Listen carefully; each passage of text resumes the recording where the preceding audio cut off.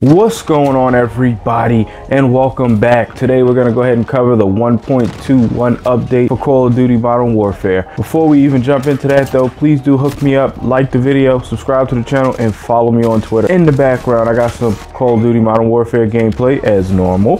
So please enjoy that as we go ahead and get right to it. Okay, so let's start out with the playlist update for Modern Warfare. In regard to that, we have the Realism Mosh Pit. You got the Reinfected Ground War game mode. You got Core Ground War. You got the Blueprint Gunfight Only game mode.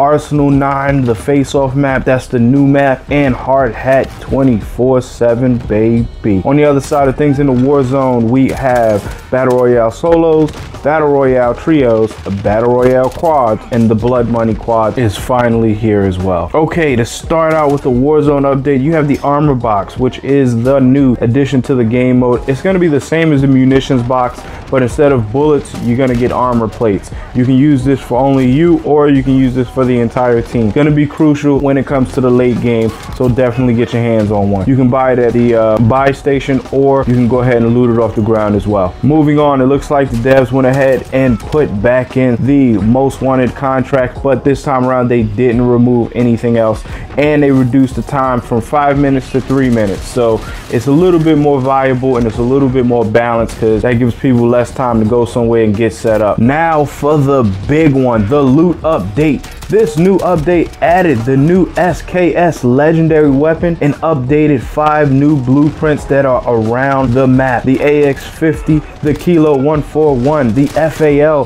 the MP7, the AUG, the Gulag has been updated. Yo, you can now get ARs, assault rifles, and SMGs in the Gulag. This is gonna change the game. I'm telling you, they heard me. They must have watched my video because this is exactly what I wanted. They added the M4, the AK-47, the M13, the SCAR is back, baby.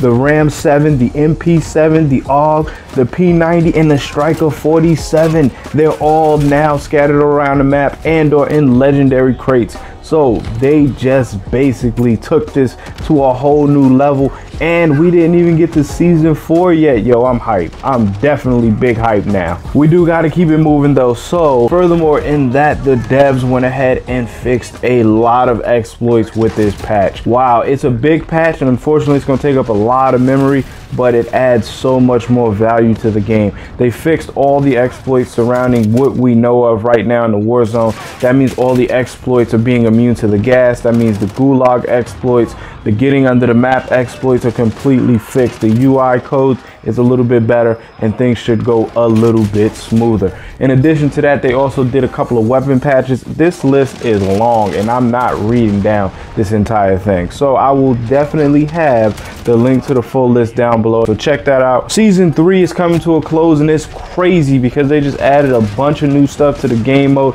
and the fact that they just fixed a bunch of exploits. I'm looking forward to seeing what we're going to get in season four. I made a video concerning it, seeing what we want, what we don't want, what we want to see moving forward. If you want, you can check that out in the description box below as well. I am looking forward. This game has legs and it has a lot of support behind it. So I'm looking forward to seeing where we go from here but that's literally about it when it comes to the update. If you can do me that favor like the video subscribe to the channel and follow me on twitter. That all being said i appreciate you coming out to watch my video and i will see you on the next one